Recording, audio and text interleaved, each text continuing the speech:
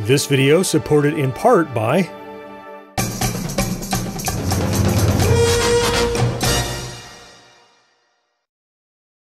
In 1976, gaming industry pioneers Steve Wozniak, Nolan Bushnell, and Steve Bristow took inspiration from Pong to develop Atari's next legendary arcade title, Breakout. Now, 46 years later, Atari, along with developers Adamvision and Sneaky Box, has added Breakout to their line of reimagined Atari arcade classics in Breakout Recharged.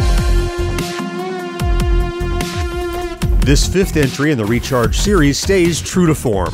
Graphics are converted to that neon vectorized look, a strobing playfield grid added to the background, the addition of power ups to modify gameplay, and a techno soundtrack to tie it all together. The art design of the original Breakout sported bright, vibrant colors for the bricks on a stark background. The neon outline style here, though, is quite a bit more muted. It's worth noting that Breakout is a prison break game. You're a prison inmate trying to knock your ball and chain against the wall of your prison cell with a mallet. But in this game, when the ball hits the paddle, the paddle makes a bit of a splash animation like you're smacking it with a wet noodle in a kiddie pool. the sounds of the ball and paddle are kind of squishy too.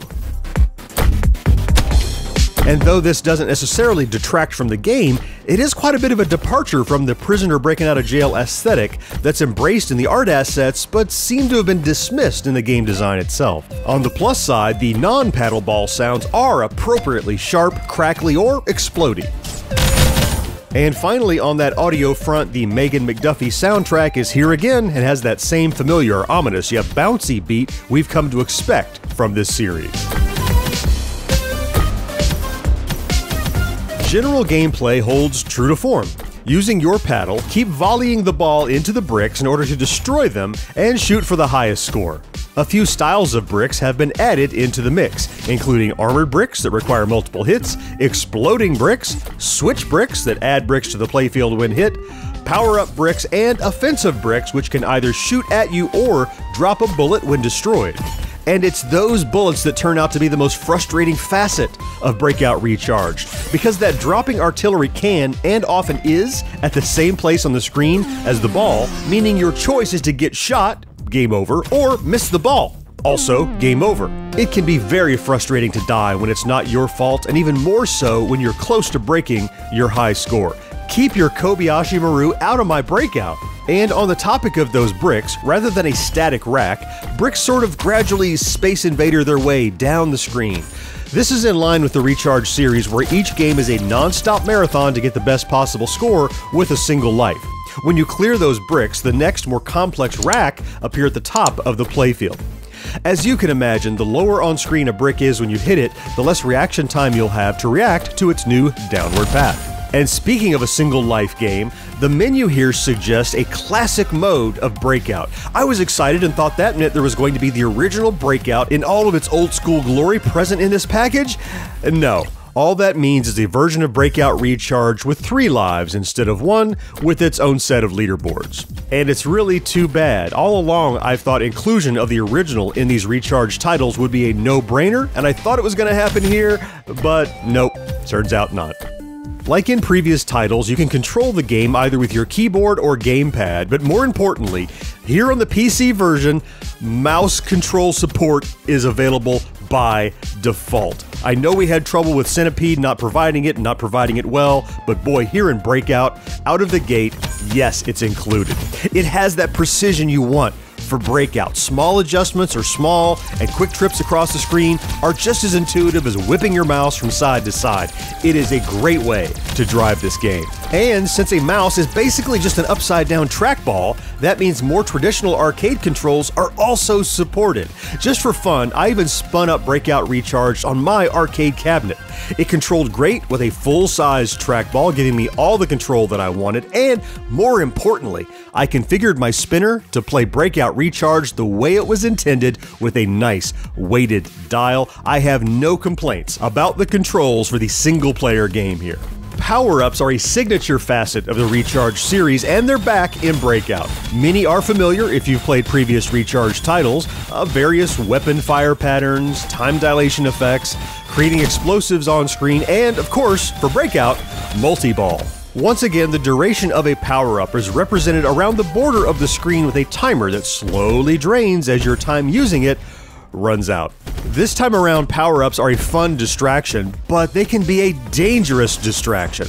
Once you spawn one by destroying a power up brick, the power ups fall very slowly and can be tough to catch. And if you focus on them too much, you're likely to miss your ball, and then it's game over, plus, you didn't get the power up. One of the most interesting and distracting power ups here is Show Trajectory, which does the math for you and plots out the expected path the ball will be taking. Then you introduce the possibility for explosive on screen effects that can clutter the playfield and make it possible to lose track of the ball. What I'm getting at here is that the power ups are great fun, but due to the frenetic and unforgiving nature of Breakout, you're well advised to keep your eye on the ball and just let power ups happen rather than actively trying to catch and utilize them. And remember that not all power ups can stack together. While some modify your ball and others the paddle, grabbing a ball modifying power up will usually negate the paddle power up. It takes a little trial and error to figure out what does go together, but I'll tell you my favorite combination of all is multi-ball along with Time Warp, which gives you three balls on the screen and yet slows them down when they reach the bottom to give you time to keep up with all three balls. Super powerful and very rewarding. Power ups notwithstanding, this is still Breakout though, so regardless of how many bells and whistles you add, some of the best fun to be had is when you get your ball above the layout and it goes absolutely ham on all those bricks. Ah, it's the simple pleasures.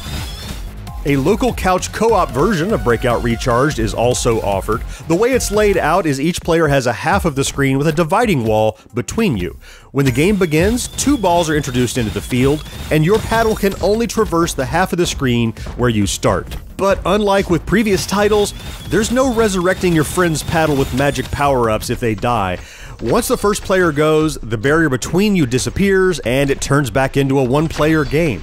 Co-op also introduces a bit of a control conundrum. There's only one mouse connected to your gaming PC, so somebody's going to be stuck using the keyboard or a controller, meaning that player will be at a noted disadvantage.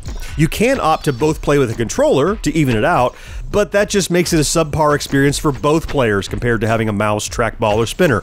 But I'm not going to beat up the game for this limitation, that's just how it is. At least we do have that mouse and trackball support. The silver lining on this cloud is that since co-op here is nowhere near as fun or as engaging as it was on previous titles, the odds are you'll try it once and seldom come back to it. Of course, it wouldn't be a recharge title without challenging stages here for some added play value. 50 challenging stages are introduced that can be played single player or co op.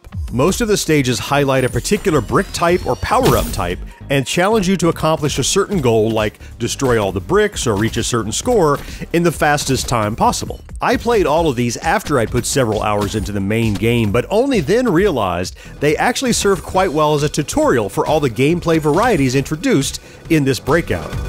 It would be easy to look at this version of Breakout with power-ups added and think it's just going to be a knockoff of the arcade game Arkanoid, but that's not the case here. There's much more available, from that non-stop flow of bricks to creative power-ups and ways to combine them, and those superb controls finally done right out of the box.